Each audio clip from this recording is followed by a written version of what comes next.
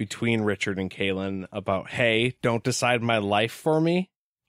Uh, yeah, but Kahlan doesn't care about that. But she's literally done this before. Like, yeah, yeah, yeah, Richard will do that. It'll be fine. And then Richard finds out and goes, hey, what the hell? Don't do that. She's doing it again. Well, we've also proven throughout this chapter that she doesn't really understand his trauma that he's gone through or care.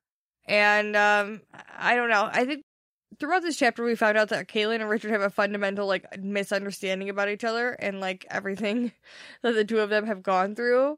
And not that they're wrong for each other. I just think that they don't really understand where the other one's coming from all the time and they make assumptions, especially Kahlan.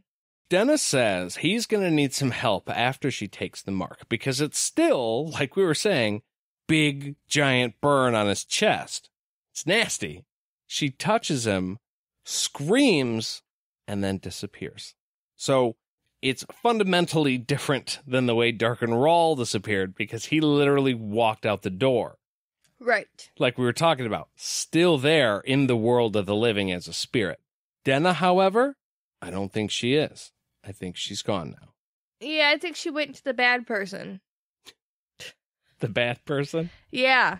He's a keeper. Do you Oh, okay. Well, I won't I won't give you my guess then. Um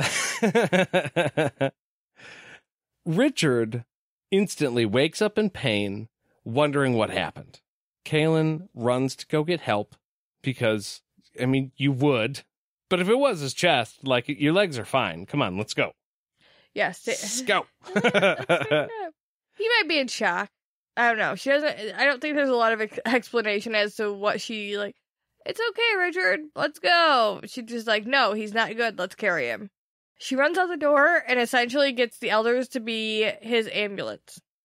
get the mat, pick him up. Let's go. Let's go. Let's go, let's go, let's go. Yeah, they want to get him over to Nissel so she can get him something to help because, I mean, she's been helping with the headaches, but I feel like this is different and maybe not something that's in her wheelhouse.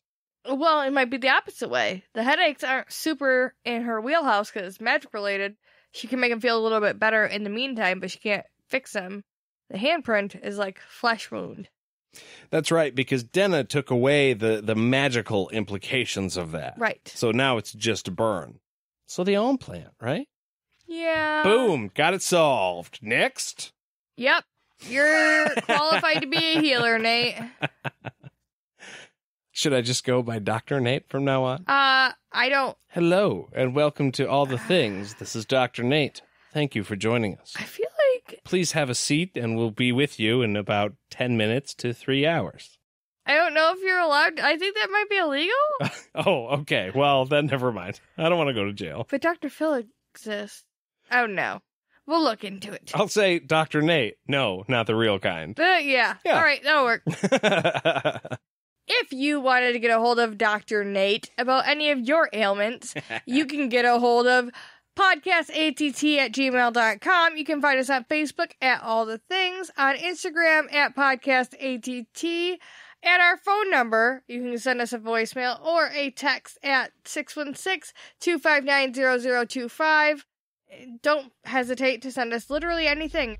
If there's something from further in the books that you guys want to like, hey, when you guys get to this, don't forget that Richard's an idiot. Let us know. I want to hear your thoughts. In the meantime, thank you guys for being with us. Thank you guys for listening, and we'll see you real soon. Bye.